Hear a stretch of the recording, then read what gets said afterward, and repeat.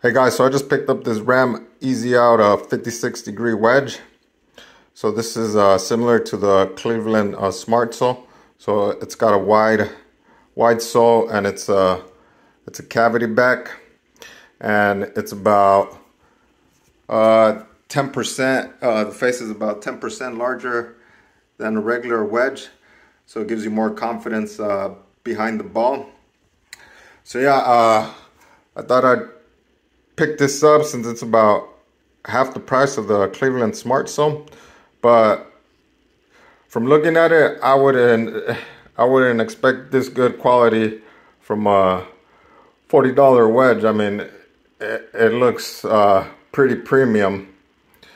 My only complaint so far about it is the is the grip. It's kind of thin, so I'm probably gonna gonna change that out. But I mean, for 40 bucks, this thing is not bad at all. So uh, this is designed so that uh, it's harder to dig when you're uh, taking your shot because of the wider sole. It just glides and, and doesn't dig into the ground. And also it makes it so that when you're in the bunker, you don't have to uh, open up the face. You just set up square and take your shot so that eliminates another variable that you have to think about. So yeah, this uh, me as a high handicapper, uh, this is really gonna help me out in the in the bunkers or in the rough because this, this is the the wedge I, I'm currently playing. It's a harmonized Wilson. Now, I mean it's it's not bad, but yeah, it's kind of inconsistent. Uh, yeah, a lot of tough shots and a lot of top shots uh, around the green.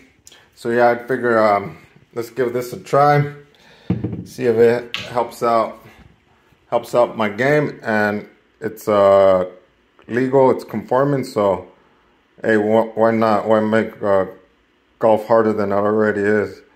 So yeah, uh, not bad. I'm gonna go ahead and take it out to the range and give it a try and see how it performs.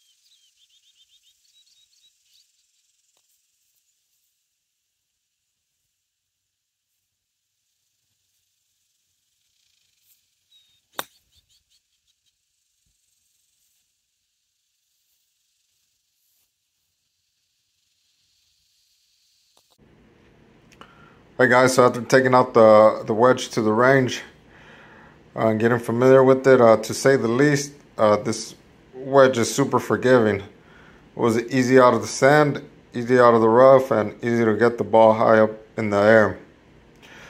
I was surprised how, how easy it was to get um, familiar with it, and in no time I was uh, very comfortable with it.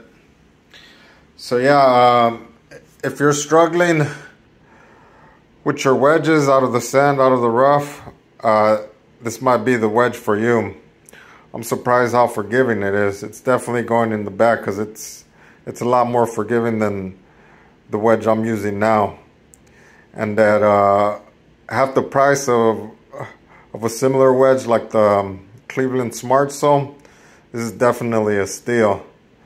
So yeah, guys, uh, that's my review of the Ram EZ Out Wedge. If you guys found this video helpful, hit the like button and subscribe. Also, uh, leave a link down below so if you're interested in the wedge, you could check it out. Thanks for watching.